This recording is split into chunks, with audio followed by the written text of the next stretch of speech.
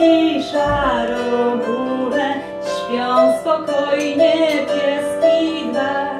Śpią też wodne renifery, a ty czemu nie chcesz spać? Przecież niedźwiedź szarogóry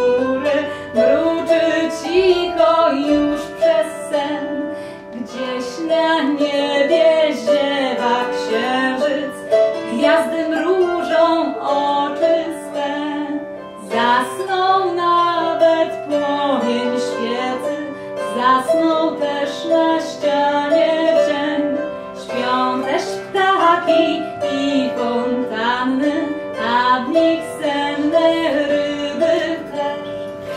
A gdy zasną już na dole,